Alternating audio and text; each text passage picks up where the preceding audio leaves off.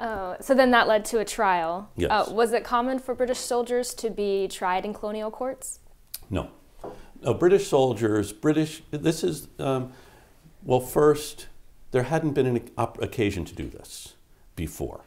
Um, British soldiers, if a British soldier committed some offense, then yes, he would be tried the same way anyone else would, because soldiers, like anyone else, might you know break the law, and then they would be subject to the law. But this time they're actually charged with murder when they were in the course of doing their job, which is to you know pr- protect the custom house, police the street. So that's a pretty big issue. This is the first trial in colonial America that lasts more than a day. Typically, trials would only last a very short time, and the trial doesn't happen until the fall. Uh, you know, this happens in March. Trial isn't held until the fall. One reason it's put off is Governor Hutchinson is really, he's not so much worried about the soldiers as he's worried about Ebenezer Richardson, because he knows there's no way for Richardson to escape hanging. And so he delays the opening of the court. He had been the Chief Justice. Now his brother in law is the Chief Justice. They delay the opening of the court until the fall. So, very unusual for British soldiers to be subject to trial in colonial courts. I'm kind of getting off the subject, the topic you asked. But um, now, here you think of these soldiers. The town, but actually, the morning after the event, Hutchinson, still in the council chamber, gathers with the governor's council. And these are men chosen by the assembly to advise the governor. And the meeting is interrupted by a delegation from the Boston Town Meeting, led by Samuel Adams. The town meeting has been happening at Faneuil Hall, and they demand that Governor Hutchinson order all of these troops out of town.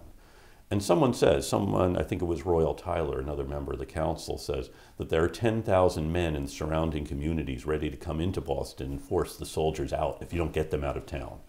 Hutchinson had given the order to, st- someone was going up to Beacon Hill to light the signal fire, which would bring more people into town. Hutchinson had stopped that, but now he hears 10,000 people ready to come in and get the soldiers out of town. Was that true? We don't know. Uh, Hutchinson does say, um, I can't order the soldiers out of town. He says, um, because they're actually under the command of General Gage. You know, Hutchinson's a Mm-hmm. civilian official. These are military troops. They're not under his command. And then they say, well, there are 10,000 men ready to come get them out of town. And Hutchinson says, well, how about if we move the 29th Regiment out, since it was the 29th that was involved in this? And Samuel Adams says, wait a minute, you just told us you couldn't move any of the troops. Now you say you can move one of the regiments. If you can move one, you can move them both. Adams was a very good negotiator. Sounds like Uh, quite the guy. yeah, quite the guy. I know if you have teenagers, you kind of know what this is like. And then they go- so Hutchinson um, is kind of stuck, and he does ultimately have the soldiers move first to Castle Island, um, fearing there will be further violence. Now, what happens next is there are two, th- a couple of things that happen next. We will get back to the trial, but first, um, Peter Oliver, who or Andrew Oliver, who is the secretary of the province and also sits on the governor's council, sends the minutes of the governor's council off to England and says, "Look, there was this conspiracy, 10,000 people outside of Boston ready to come in, and this was all part of a preconcerted effort." Now, two things happen as a result of this. One is um, colonists say, well, wait a minute, there wasn't really any conspiracy. Secondly, what are you doing sending the minutes of our meetings off to London? And this is one thing that makes this a persistent political issue the fact that Andrew Oliver, who is also a brother in law of Thomas Hutchinson, had violated the secrecy of the council meetings by sending their minutes off to England. So, also, the other thing that happens, as I said, Hutchinson spent the night hearing depositions. The town of Boston also orders a report, and they have about 85 or so witnesses who report what they saw, and then the town publishes its report of this event. And they begin the story in 1767 with the arrival of the customs commissioners. That's when this story began. Now, they, they call this the true account of the horrid massacre perpetrated on King Street. So, a horrid massacre. And it's later published along with Paul Revere's engraving of the scene. Now, another version appears in London. It says the trouble really began on Friday morning, March the 2nd, when there was this fight at the rope works. The town report does talk about the fight at the rope works. They say a British soldier challenged a rope worker to a boxing match, and he got beaten. And then the soldiers got really sore. The unofficial report is, I think, a bit more accurate about this just being a fight between a rope worker and a bunch of rope workers and soldiers. So, each side is trying to spin this event and present it in a certain way. Now, while this is happening, of course, Captain Preston and these soldiers have been charged with murder. No one in town wants to represent them. Someone goes to Josiah Quincy, who is, he's gotten the nickname the Patriot. He is a great supporter of the cause of these American colonies and resistance to Parliament's authority. His brother is actually the chief prosecutor, Samuel Quincy. But someone approaches Josiah Quincy and says, Will you defend the soldiers? Here they are being charged with murder. They were attacked by a mob. And remember, the reason they're here is because the thinking of Governor Bernard and British authority was Boston is a lawless place. You need troops to, to enforce the law. And Quincy knows that if we can give these soldiers a fair trial, that way we will prove Boston isn't a lawless place.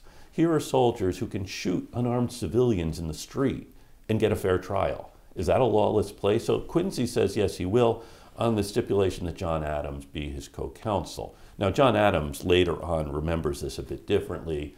Long after Josiah Quincy is dead, he remembers how someone, this guy, came to him, an Irish merchant in town who was a friend of some of the soldiers. Some of the soldiers, by the way, were Irish.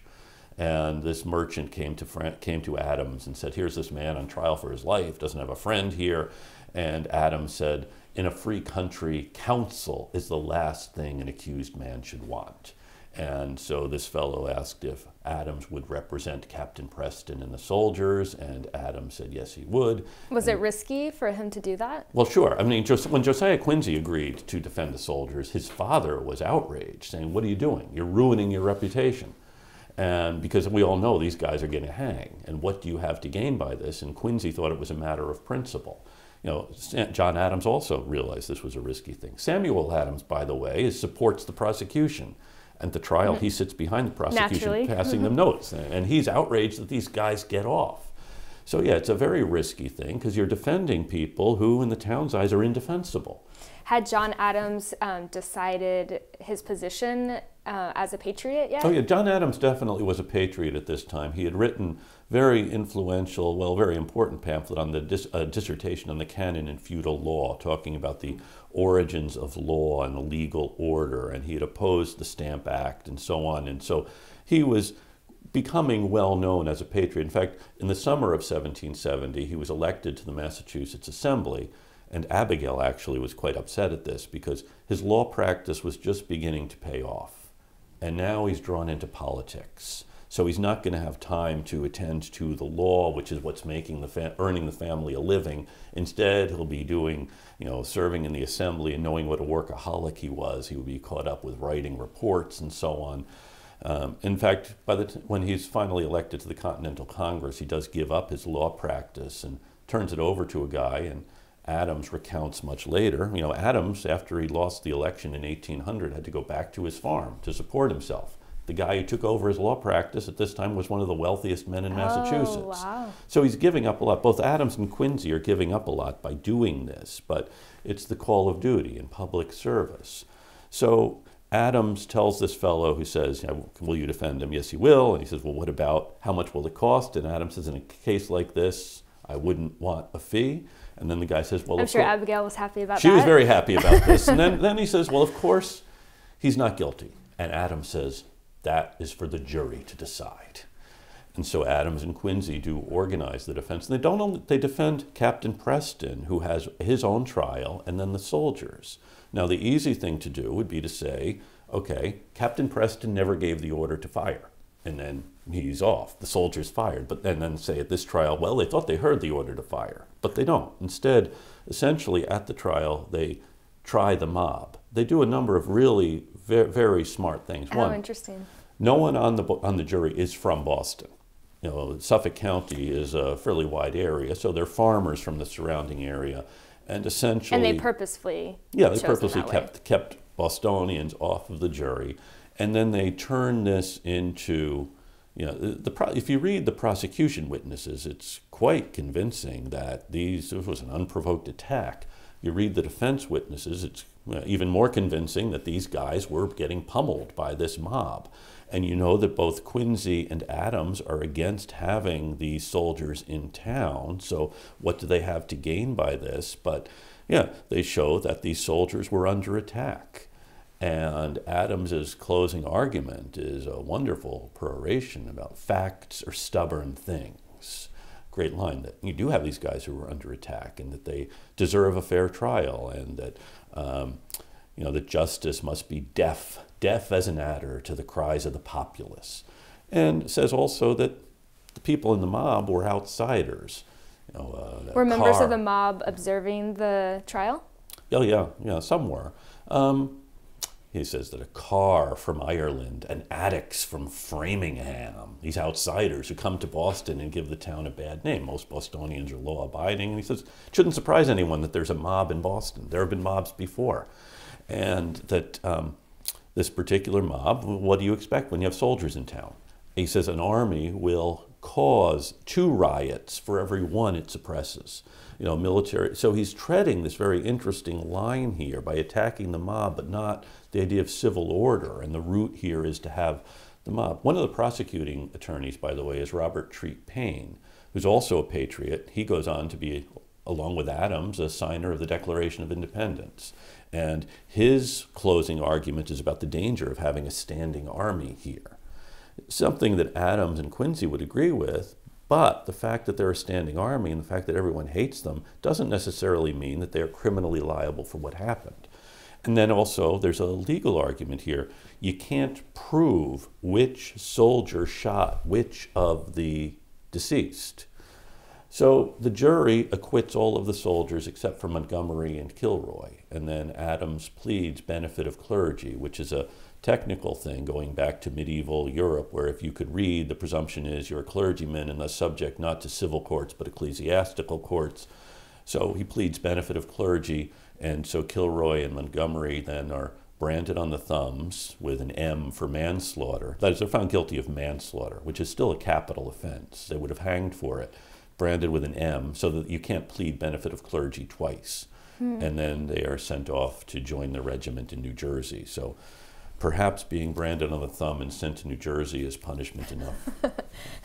so, did they receive their impartial trial? Yeah, they did. It was a fair trial. I mean, the jury finds them not guilty uh, or guilty of manslaughter. So, you do have a jury weighing the evidence. You can think about the town simply wanting to hang these guys because what they, I mean, they shot this unarmed crowd.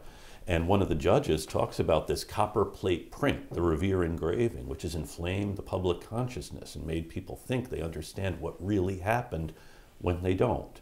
But Adam, Adams and Quincy give a very fair, they allow the jury to render a fair verdict. Samuel Adams is outraged by the acquittal. He thinks these guys should hang. You know, but Adams and Quincy are proving a larger point that here you can give the accused justice, that a, a, jury can hear the evidence and dispassionately weigh it.